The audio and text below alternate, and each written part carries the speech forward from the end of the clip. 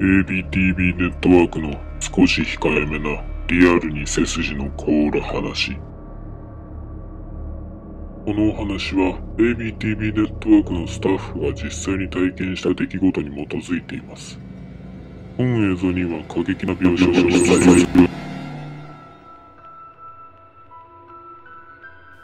これは私が実際に体験したお話です。あれは2年前。それはそれはとても蒸し暑い夏の夜のことでした。深夜の2時頃だったでしょうか。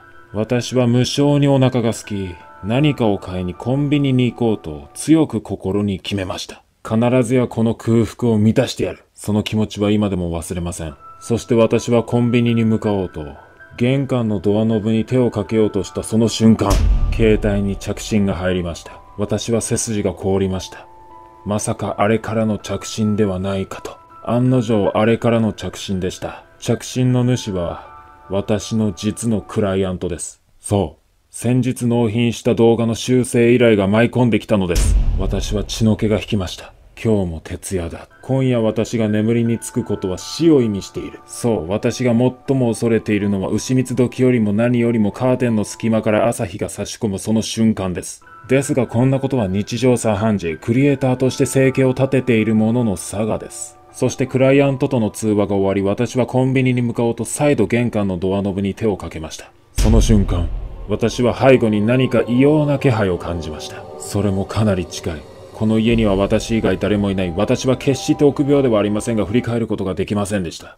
不思議なものです。私は幽霊の存在を信じていない。そんなものいるわけがない。そう信じているはずなのに振り向けない。私は決して恐れてなどいなかった。しかし振り向くことができない。いや、体が動かない。私は決して臆病ではない。しかし体が動かない。私は男の中の男だ。しかし体が動かない。そして私は何を思ったか足元に目をやりました。すると、私の足の隙間から見えてはいけないものが見えていたんです。そこに見えていたものとは、私とは別の足です。そしてその足の位置で分かりました。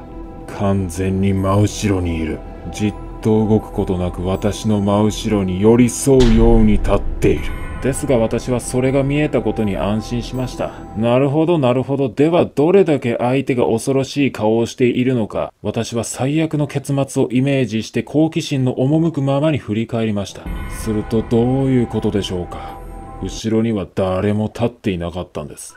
私は落胆しました。期待させるだけさせといてとんだ拍子抜けだと。この時間を返してほしい。おそらくもうコンビニに着いてる時間です。そう思い肩を落とし再び足元を見た瞬間、それの正体が分かりました。靴です。